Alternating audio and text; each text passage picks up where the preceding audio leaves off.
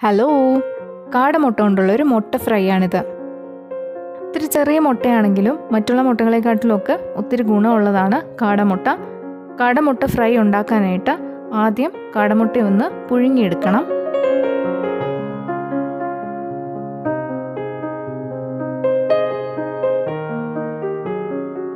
മുട്ടയെല്ലാം പാനിൽ വെച്ചിട്ട് സാധാരണ മുട്ട പുഴുങ്ങുമ്പം ചെയ്യാറുള്ളത് പോലെ ഉപ്പാണ് ചേർക്കുന്നത്. ഒരു ടേബിൾ സ്പൂൺ ഉപ്പ് കല്ലാണ് എടുത്തിരിക്കുന്നത്. ഇതിന് പകരം ഉപ്പ് പൊടി എടുത്താലും മതി. ഈ മുട്ടയൊക്കെ മുങ്ങിക്കിടക്കുന്ന രീതിയിൽ ആവശ്യത്തിന് വെള്ളം ചേർത്തിട്ട് മീഡിയം ഫ്ലെയിമിൽ മൂടി വെച്ച് ഒരു പത്ത് പതിനഞ്ച് മിനിറ്റ് നന്നായിട്ട് തിളപ്പിച്ചെടുക്കുമ്പോൾ ഈ മുട്ടയൊക്കെ വെന്ത് കിട്ടും.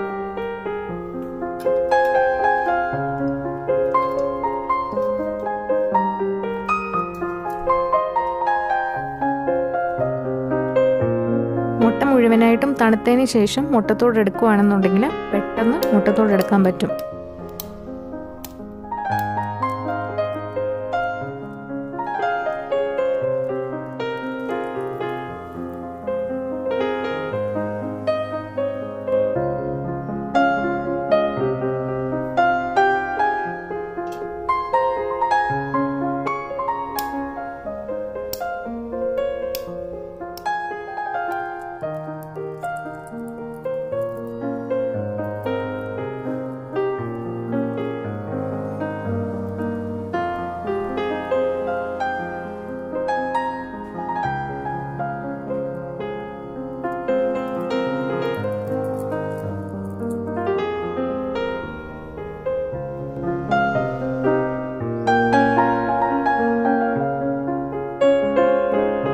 മുട്ടത്തോടെല്ലാം മാറ്റിയതിന് ശേഷം ഇതിൽ പുരട്ടാനുള്ള മസാലപ്പൊടികൾ ഒന്ന് മിക്സ് ചെയ്തെടുക്കാം.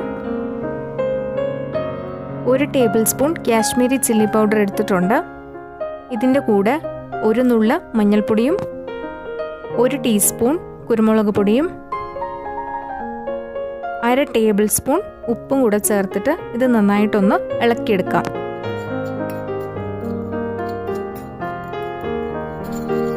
ഇനി മീൻ വറുക്കാൻ നേരത്ത് ചെയ്യുന്നത് പോലെ മുട്ടയുടെ പുറത്ത് വരഞ്ഞു കൊടുക്കുന്നുണ്ട്. മസാലയൊക്കെ അകത്തോട്ട് നന്നായിട്ട് പിടിക്കാൻ വേണ്ടിയാണ് ഇങ്ങനെ വരഞ്ഞു കൊടുക്കുന്നത്.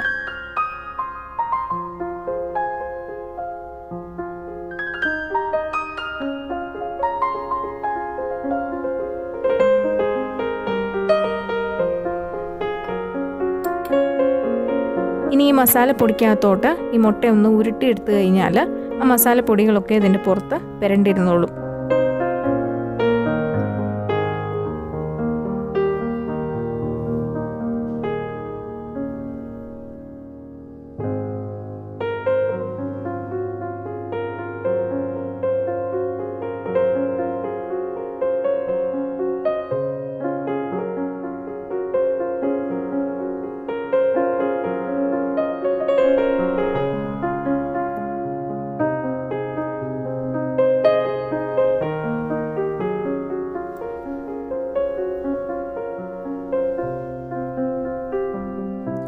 ഇനി മുട്ടയെല്ലാം ഒന്ന് ഫ്രൈ ചെയ്തെടുക്കാനായിട്ട് ചൂടായ പാനിലേക്ക് രണ്ട് ടേബിൾ സ്പൂൺ എണ്ണയാണ് ഒഴിച്ചിരിക്കുന്നത്. നല്ലൊരു ഫ്ലേവറിന് വേണ്ടി ഒരു ടേബിൾ സ്പൂൺ വെളുത്തുള്ളി തൊലിച്ചത് അതേപടി ഇതിലേക്ക് ഇട്ട് കൊടുക്കുന്നുണ്ട്. ഇനി മുട്ടയും കൂടെ ഇതിലേക്കിടാം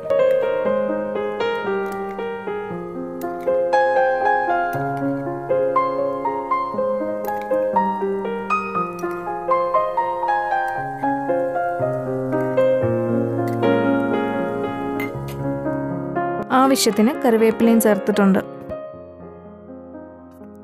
ഇത് ഓൾറെഡി പുഴുങ്ങിയെടുത്ത മുട്ടകളായതുകൊണ്ട് ഒരു അഞ്ച് മിനിറ്റ് മീഡിയം ഫ്ലെയിമിൽ വെച്ച് ഈ മസാലയൊക്കെ ഒന്ന് മൂപ്പിച്ചെടുക്കേണ്ട താമസമേ ഉള്ളൂ. ഒത്തിരി സിമ്പിളായിട്ട് ഉണ്ടാക്കിയെടുക്കാവുന്ന ഒരു എഗ് ഫ്രൈ ആണിത്. നമ്മളിപ്പോൾ കാടമുട്ട വെച്ച് ചെയ്തതേ ഉള്ളൂ. ഏത് മുട്ട വെച്ച് വേണമെങ്കിലും ഇതുപോലെ എഗ് ഫ്രൈ ഉണ്ടാക്കാം.